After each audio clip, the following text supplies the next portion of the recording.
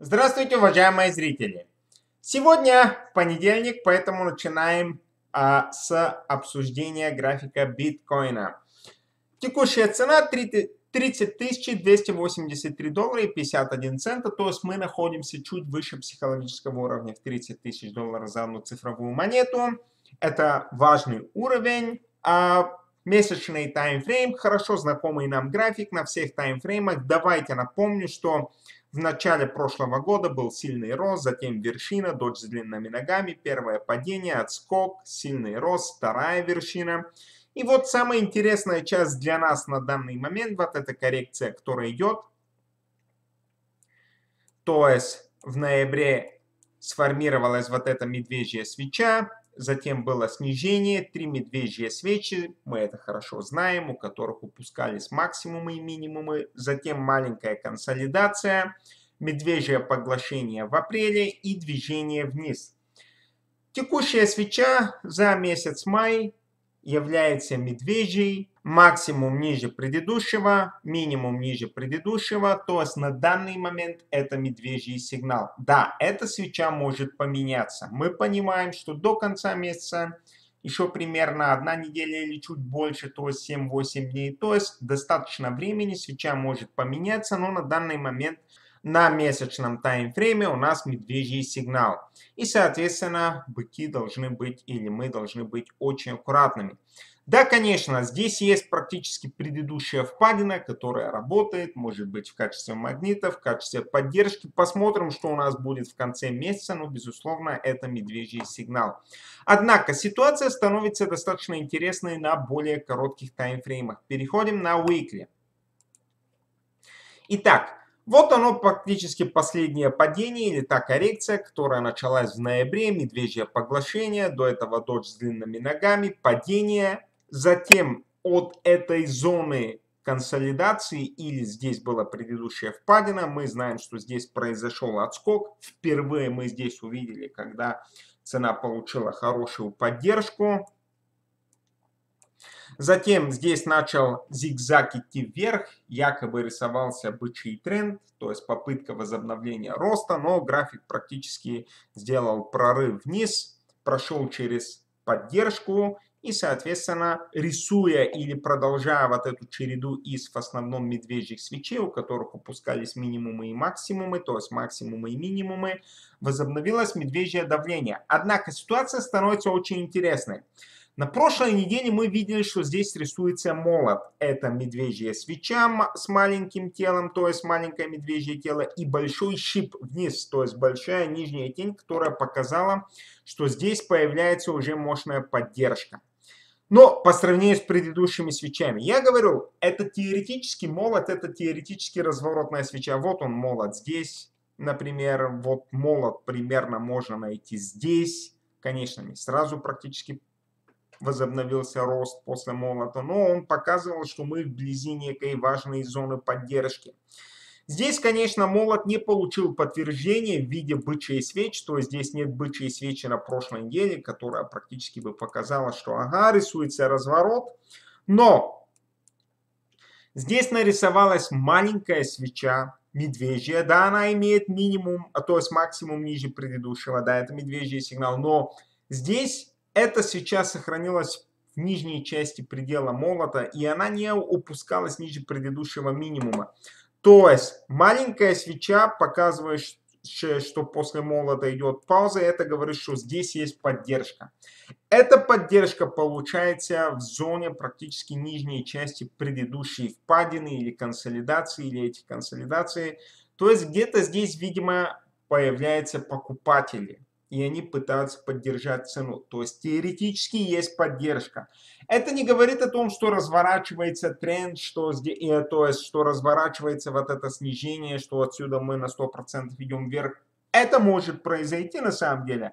На данный момент нет такого надежного сигнала, но я хочу показать, что здесь по свечам, смотрите, здесь обновлялись всегда минимумы, а здесь шип большой нижняя, большая нижняя тень, большой шип, и здесь нет обновления вот этого максимума, то есть первоначальная поддержка.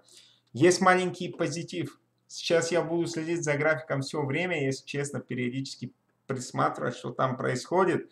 А потому что, ну, будет хорошо, если это начало формирования впадины. Посмотрим, все может поменяться. Если вдруг на этой неделе свеча нарисует движение вниз и минимум упустится, и будет медвежье тело, то, конечно, этот оптимальный сценарий, маленький оптимистичный сценарий о формировании дна здесь исчезнет, но пока он есть. Итак, это на weekly. Переходим на дневной таймфрейм. Вы знаете, здесь три скользящие средние, которые мы все время обсуждаем. То есть напоминаю, что у нас есть месячная, идет вниз, цена ниже. Трехмесячная или квартальная, или 90-дневная тоже идет вниз, цена ниже. И годовая которая практически сверху, плюс у нас медвежье распределение скользящих средней, а, здесь 30-дневная, здесь 90-дневная, здесь 360-дневная или месячная, квартальная, годовая. Это говорит о том, что э, на рынке доминируют медведи. То есть э, они сильнее на данный момент, цена ниже, медвежье распределение скользящих средней. Но здесь видно вот это практически зона консолидации, предыдущий маленькая пауза после вот этого падения. Посмотрим, вдруг здесь нарисуется некая впадина. И в этом случае, если начнет рисоваться здесь впадина, то может сработать вот этот оптимистичный сценарий, который мы обсуждаем в последнее время, формирование широкого диапазона. Здесь условно впадины, здесь условно вершины. Посмотрим. Посмотрим, что будет. Давайте сначала увидим некий более серьезный отскок, который практически нам покажет, что увеличивается вероятность того, что здесь идет формирования впадины. На дневном и weekly таймфрейме мы увидим некоторые дополнительные бычьи сигналы. Вот тогда здесь будем говорить, ага, кажется, что формируется впадина. На данный момент это только маленькие предпосылки. И нужно быть очень аккуратным, потому что если цена вдруг резко упадет вниз, это отменится. Поэтому я не хочу сказать, что здесь есть бычий сигнал, я хочу просто показать, на что я сейчас обращаю внимание, за какими сигналами я буду следить, если вдруг здесь начнет какое-то улучшение.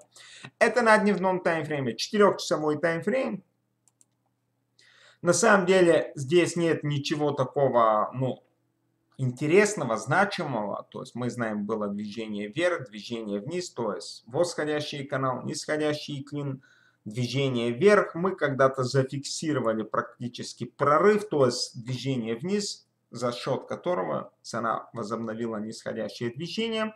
Но сейчас здесь можно увидеть более аккуратно, более грамотно, где находятся вот эти впадины, и от них отталкиваться и надеяться, что здесь появится поддержка. На данный момент на 4-часовом таймфрейме ничего другого я не вижу. Может быть на самых коротких таймфреймах, на 30-минутном таймфрейме, на часовом. Можно следить за вот эти падающими вершинами, падающими впадинами. Вдруг начнет рисоваться некий маленький первоначальный зигзаг, который будет у которого впадины не будут обновляться вниз и вершины вниз, тогда уже на более коротких таймфреймах можно будет спрогнозировать некий потенциальный отскок. На данный момент это чисто теоретически такой отскок. Какая интересная цена? 3.0303.30. И я иногда себе, когда а, вижу такие цены, говорю, а, что-то происходит, почему такое интересное. Вы знаете, на самом деле оказывается, что боты, которые торгуют на биржах и поставляют котировки, они с целью иногда рисуют эти интересные цены. То есть чисто алгоритм так настроен, что когда они поставляют котировки, округляют в, э, в сторону интересной такой а, цифровой... А, порядок цифр, чтобы практически для людей это как будто бы это был сигнал. Не думайте, что здесь есть какие-то интересные сигналы, это с целью. Я потом просто, когда немножко программированием занимался, помню, как мы это округляли, и с целью даже нам там преподаватели когда-то давали такие а, задания, чтобы вот число округлять вот так. Хорошо, друзья, на самом деле у меня на этом все по графику биткоина, следим за ситуацией, посмотрим, если эта поддержка начнет появляться. Я вам, конечно, желаю отличного дня, удачи на финансовых рынках, хорошей недели впереди, здоровья на первом месте и до следующего обзора. Спасибо за просмотр.